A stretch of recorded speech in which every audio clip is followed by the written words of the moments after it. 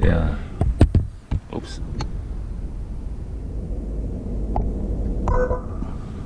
And the lights. Go on. Hello, I'm Adrian and I am from um, the United States and I just discovered Maverick who is apparently the Ubergrapher um, which is super cool. So um, I moved to Singapore about eight months ago and we're supposed to be here for two years but it is a pretty awesome place um, because you come across things like this all the time um, which is really cool. It's an awesome country and um, it's clean, it's super safe. The food here is really, really good and everyone here likes to eat. So that's cool. Um, and it's summer all year round, so you can't beat that. Um, so anyway, Thank you. talk to you soon. Hi. Right. Thank you. No problem.